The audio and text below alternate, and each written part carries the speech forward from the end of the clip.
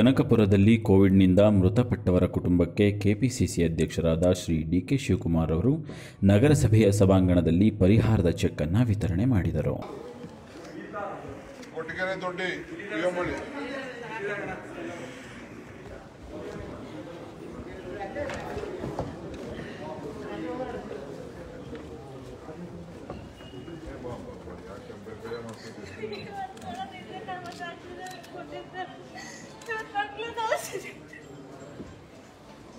ಭಾಗ್ಯಮ್ಮ ಮುಳ್ಳಳ್ಳಿ ಧೈರ್ಯ ತಗೋಮ್ಮ.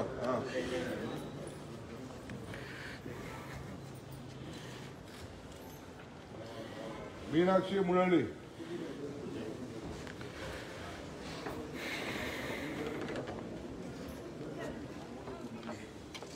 ರಾಧಮ್ಮ ಗೊಲ್ಲಳ್ಳಿ.